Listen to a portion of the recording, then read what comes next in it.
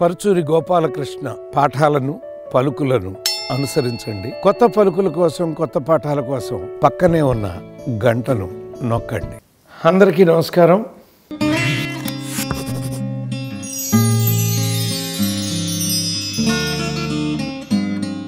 రాజేంద్రరావు గురించి విన్నారు. కోదండరావు గారి గురించి విన్నారు. దాసి నారాయణరావు గురించి విన్నారు. ఇప్పుడు బి గోపాల్ బెజవాడ గోపాల్. రచయిత మీద విశ్వాసం ఉన్న దర్శకుడెవరు అని కనుక మీరు ప్రశ్నిస్తే కళ్ళు మూసుకుని నేను చెప్పే ఆన్సరు బి గోపాల్ బెజవాడ గోపాల్. రైటర్ని అంత నమ్ముతాడండి.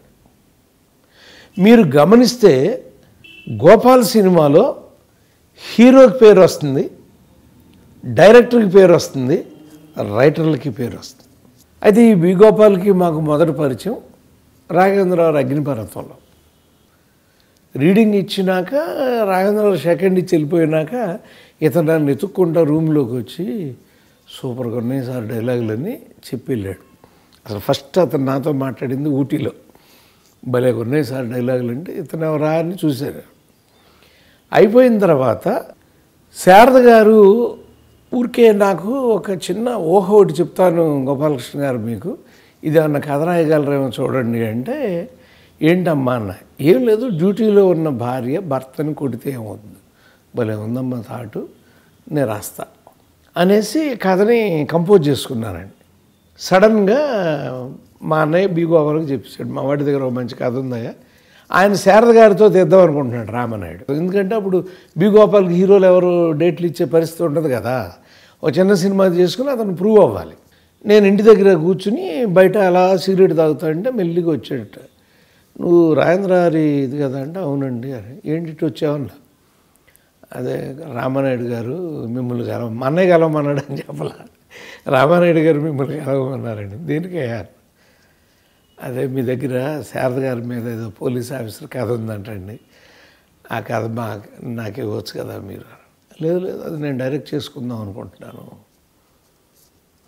దిగులుగా వెళ్ళిపోయాడండి. నేను వెంటనే ఇంట్లోకి వెళ్ళి శారద గారికి ఫోన్ చేశాను ఆవిడ కూడా పంపించిందండి దొంగ.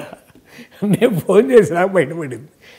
నేను కూడా పంపించానండి అది. ఏంటమ్మా నేను చేసుకుందాం అనుకున్నాను కదా అంటే ఏమండి మీరు రోజుకో కథ రాయగలిగిన మేధావి. మీరు ఇచ్చేయండి గోపాలకృష్ణ గారు నా మాట మీరు ఎన్ని రాసుకోలేరు కావాలంటే ఇంకోటి రాసుకుందరు గారు. సరేనమ్మా. కట్ చేస్తే రామానాయుడు గారి దగ్గరికి వెళ్ళాం. అన్నయ్య నేను గోపాలు కూర్చున్నాం. రామానాయుడు గారికి కథ చెప్తున్నా. జస్ట్ టూ త్రీ మినిట్స్ అలా ఆ క్యారెక్టర్లను పరిచయం చేసుకుంటా ఆవిడ పోలీస్ ఆఫీసర్గా ఈయన ఉద్యమం చేస్తాంటే వచ్చి ఏసి కర్ర పెట్టి కొడుతుందండి. నాతి చరామి నాతి చరితవ్య అని వెనకాల వస్తూ ఉంటాయి అని చెబుతున్నా. ఇలా అన్నాడు. ఓహో ఎక్కలేదు కావాలి ఈయన అనుకుంటే. నాకు ఇది ఓకేనయ్యా సార్ ఇంక కథ ఇంక ఉంది సార్ అని. అక్కర్ల గోపాలకృష్ణ మొగుడిని పెళ్ళాం కొట్టింది అంటే సినిమా హిట్ అంతే. పెళ్ళాన్ని మొగుడు కొట్టడం కామన్ అందరికీ తెలిసిన విషయం. మొగుడిని పెళ్ళాం కొట్టిందంటే విచిత్రం ఎగబెట్టి చూస్తారు సినిమా అన్నాడు. ఓ అనుకున్నాం. అయిపోయిందండి ఆర్డర్ అంతా రాశాను ఆర్డర్ అంతా రాసినాక రామానాయుడు గారికి చెప్పా బాగుందయ్యా అన్నాడు. నేను కొంచెం చేస్తానండి అని వెంకటేశ్వరరావు దీన్ని తీసుకుని వెళ్ళి ఒక వారం రోజులు కూర్చున్నాడు. వెంకటేశ్వరరావు కథ చెప్పాడు. ఏంటి గోపాలకృష్ణ? అన్నాడు రామనాయుడు గారు. ఇలా అయితే ఫ్లాప్ అవుతుంది సార్ అన్నా నేను మా అన్నయ్యకి నాకు తగు. నాయుడు గారు ఆడు చెప్పిన కదా యాజిటీస్గా తీస్తే ఫ్లాప్ అవుతుందండి అన్నయ్య. ఇతను బిక్క ముఖం వేసుకుని మధ్యలో ఇటు ఇటు చూస్తున్నాడు ఏం మాట్లాడాడు చిన్నపిల్లాడు కదా ఫస్ట్ టైం డైరెక్టరు అటు చూస్తున్నాడు ఇటు చూస్తున్నాడు. ఏమయ్యా? ఏం చేద్దాము మరి? ఇలా అయితే నువ్వు పోతుందంటున్నావు అలా అయితే నువ్వు పోతుందంటున్నావు ఎందుకు నేను సినిమా మానేస్తానన్న అని అన్నాడు రామనాయుడు గారు. ఇతని కళ్ళల్లో ఆల్మోస్ట్ కన్నీళ్ళు చూశాను నేను. ఒక్క నిమిషం నాకు ఛాన్స్ ఇవ్వండి నాయుడు గారు. ఏంటయ్యా? నేను అనగానగా ఒక శారద ఆ శారదకు ఓ మొగుడు ఓ తమ్ముడు ఓ మామ ఇలా కదండి మీకు అది చెప్పాను. అవును. అదే కదా మీకు నచ్చింది? అవును. కానీ ఇప్పుడు అన్నయ్య ఏం చెప్తున్నాడు? అనగానగా ఒక అర్జును అతనికి ఒక అక్క బావ అని కథ చెప్తున్నాడు. మీరు నన్ను అడిగింది ఏంటి శారద మీద సినిమా తీస్తాను కదమ్మన్నారు ఇప్పుడు ఆయన అర్జున్ మీద సినిమా అంటున్నాడు. ఇప్పుడు అర్జున్ ఒకటి రెండు సినిమాలు ఆడేసరికి ఏం చేస్తున్నారండి? ఆయన తమిళనాడులో కర్ణాటకలో చేసేసిన సినిమాలన్నీ ఒక ఇరవయో ముప్పయో డబ్బింగ్ సినిమాలు రేపు వచ్చి పడిపోతాయి. ఆ మధ్యలో మన దగ్గర కూడా ఇలా అర్జున్ నిలబడి కనపడతా ఉంటాడు. అదే శారద గారు ఇలా లాఠీ పట్టుకుని నిలబడితే ఈ పోస్టర్కి ఆ పోస్టర్కి వాల్యూ చూడండి నన్ను. వెంకటేశ్వరరావు ఈ వాదన నాకు నచ్చిందయ్యా. కరెక్ట్. నేను శారద మీద కదా సినిమా తీద్దాం అనుకుంది. నువ్వు అర్జున్ కాదు చెప్పావు. అది బాగుంది నేను కాదంట్లా కానీ ఇదే నేను తీస్తా అన్నాడు. ఇలా తీస్తే ఆడదండి అన్నాడు. ఆడపోయినా తీస్తారా నువ్వు వెళ్ళిపోరు నేను రాయను అని అంత కోపం వచ్చిందండి ఆయనకి. ఆయన నిజంగా బాగా వేసాడు పాప మ్యాటర్. కానీ నేను చెప్పిన లాజిక్ చూడండి. మ్యారిల్ బ్రాండో చెప్తాడు చూడండి రీజన్ విత్ మీ అంటూ ఉంటాడు. ఆ రీజన్ ఉండాలండి ఎప్పుడైనా మీకు. నేను రీజన్తో గెలిచా ఇక్కడ. ఎస్ ఏమడిగావు నన్ను? ఒక శారద గారి మీద ఒక స్టోరీ అడిగావు. అది నేను ఇచ్చా. అది ఇచ్చిన తర్వాత ఈతనికి అనుమానం అండి. రాఘవేంద్రరావుని పిలిపించి అండి ఒకసారి మీరు వినండి. సవారీ hotel four zero one. Rajendra గారికి చెప్పాను నేను కథ ఆయన చాలా బాగా నచ్చింది. లోపల పిలిచాడు గోపాల్. ఈ శారద మీద ఏమాడుతుందా ఇది? నేను బాలకృష్ణ మీదను జయసూద మీద తీసుకుంటాను నాకు ఇచ్చేయండి అన్నాడు. నేను సార్ పాప అతను ఏదో నన్ను ఎత్తుక్కుంటూ వచ్చాడు. కాదు కాదు ఆవిడ మీద ఆడే ఆడని ప్రమాదం ఉందిగా గోపాలకృష్ణ గారు. మంచి కథ. పడైపోతుంది మీరు ఆలోచించుకోండి అన్నాడు. నాన్న పోతే పోయింది సార్. అతనికి శారద గారు మాట ఇచ్చింది మేము మాట ఇచ్చాము ఇప్పుడు మీరు ఇదే కథని బాలకృష్ణ గారి మీద జయసూద్ గారి మీద అంటే నాయుడు గారు కూడా హ్యాపీగా తీస్తాడు. కానీ ఇతని జీవితం దెబ్బతింటుందంటే సరే అయితే శిష్యుడిగా అడిగావు కథ మాత్రం చాలా బాగుంది గోపాల్. ఇది మాత్రం నేను మార్కేస్తున్నా మరి శారద అంటున్నావు చూసుకో అని మళ్ళీ భయపెట్టి వెళ్ళాడండి ఒక అద్భుతమైనటువంటి సినిమా షూటింగ్. ఆ రోజున తెల్లవారుజామున మూడింటికి రాశానండి ఇలా బీజేపీలో. రా అంటే రాక్షసంగా జా అంటే జనానికి కీ అంటే కీడు చేసే ఎం యంత్రాంగం రాజకీయం. అందులో మనం సిద్ధహస్తులం. ఈ షాటు వెంకటేష్ బాబు ఇంట్లో తీస్తున్నప్పుడు ముందు ట్రాలీ ఫ్రంట్కి వచ్చి ఆ తర్వాత అలా నేను పక్క తప్పుకుంటాను ట్రాలీ వెనక్కి వెళ్ళిపో అన్న. సార్ ట్రాలీ ముందుకు వచ్చి మళ్ళీ వెనక్కి వెళ్ళకూడదండి. రూల్ ఎవరికి కావాలయ్యా? నేను ఒక రూల్ చెప్తున్నాను చూడు. నేను ఈ డైలాగ్ ఫినిష్ చేయగానే హోరెత్తిపోతూ ఉంటాను థియేటర్లో. అక్కడ రామలింగ గారిని అమ్మ అమ్మ అమ్మ అమ్మ అమ్మ అంటా ఉండమను నువ్వు మళ్ళీ ఇలా కెమెరా ఆయన దగ్గరికి వెళ్ళిపో ధన్మని వచ్చేస్తాను లింగం ఈ సంగతి నీకు నాకు మాత్రమే తెలుసు. పక్కవాడికి తెలిసిందో భోషాణం పగిలిపోద్ది.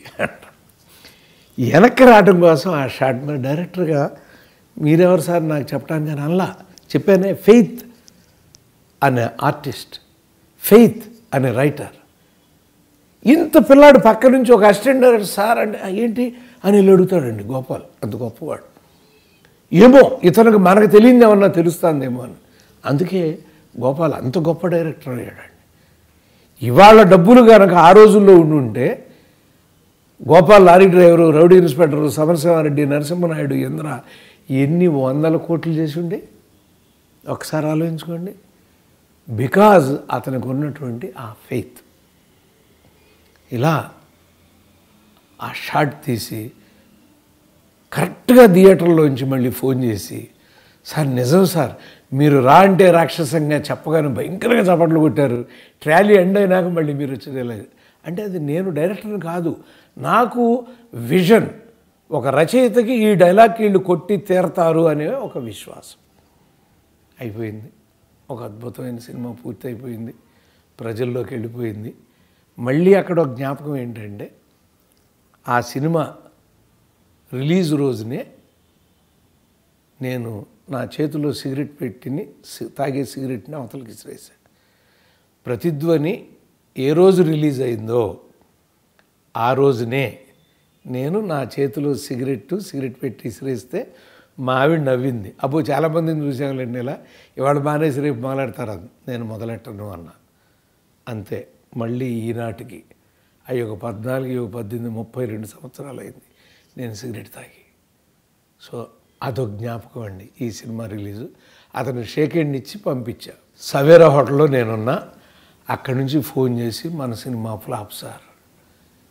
ఏం మాడుతున్నావు గోపాల్ నువ్వు? ఎవరు చెప్పారు నీకు? అని అదేనండి పక్క థియేటర్లో స్వాతిముత్యం ఉంది మేనేజర్ చెప్పాడు. మేనేజరు విశ్వనాథ్ గారి ఫ్యాన్ అయి ఉంటాడయ్యా కంగారు బాగా. అక్కడి నుంచి ఒంగోలు వచ్చాడు. సార్ ఇక్కడ అలాగే చెప్తున్నారు సార్. మన వాళ్ళందరూ బాబురావు వీళ్ళందరూ ఇంకా సినిమా చూడలేదు కానీ బయటికి టాక్ అలా వచ్చిందని. నా మాట నువ్వు వెళ్ళవయ్యా అన్న. గుంటూరు వెళ్ళాడు. ఓ రెండు మూడు వారాలు ఆడుతుంది అంటున్నారు సార్ గుంటూరులో. అంటే మా తరూరు ఇది అందుకని అన్నాడు. అక్కడి నుంచి బెజవాడ వచ్చాడండి. రామానాయుడు గారు గోపాలకృష్ణ గోపాలు భయపడుతున్నాడు సినిమా తెలియట్లా అతనికి. అందుకే విశాఖపట్నం దాకా పంపిస్తున్నా విశాఖపట్నం దాకా అతనితో నువ్వు మాట్లాడబాకు అన్నాడు నాయుడు గారు. కరెక్ట్గా రాత్రి పదిన్నరకు పదకొండింటికో విశాఖపట్నం నుంచి ఫోన్ చేసి మన cinema super hit sir. Gopal ఏమయ్యా అన్న అందరూ మోసం చేశారు సార్. ఊగిపోతున్నారు సార్ ఆడియన్స్ ఊగిపోతున్నారు సార్ ఆడియన్స్. ఏమి చప్పట్లు సార్ థియేటర్లో? అంతే. వంద రోజుల సినిమా మా కాంబినేషన్లో బి గోపాల్తో. నేను తీద్దాం అనుకున్న ప్రతిధ్వని అతను తీశాడు కానీ నేను నటించాను. అనుక్షణం అతనికి అండగా ఉన్నాను ప్రతి సీన్లో కూడా ఉన్నాను. ఇప్పుడు చాలామంది అడుగుతున్నారు నన్ను మళ్ళీ ఒక్కసారి బలగంపూడి సీతయ్య వేషం వేయండి సార్ ఇలాగే చూద్దాం మళ్ళీ అని. చూద్దాం.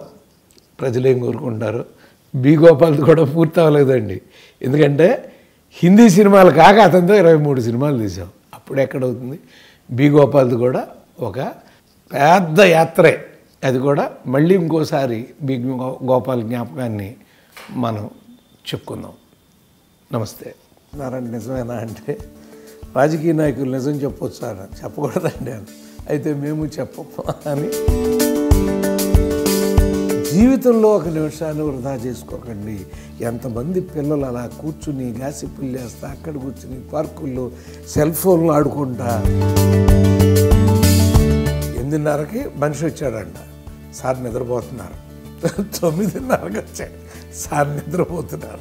మళ్ళీ పదింటికి వచ్చి సార్ నిద్ర లేపండి ఏమి నిద్ర?